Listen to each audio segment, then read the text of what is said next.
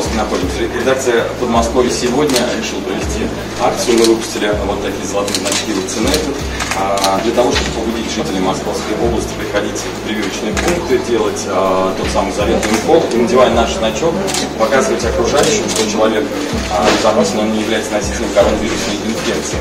А, значок сделан специально на латинице для того, чтобы а, наши жители Подмосковья могли выезжать за границу и показывать всему миру, что мы здоровы. И сегодня этот значок мы вручаем Алексею Петровичу. Все. Спасибо. Поздравляем вас. У нас сейчас акция проходит, мы раздаем значки тем, кто привился, чтобы было видно, что человек защищен и безопасен для окружающих.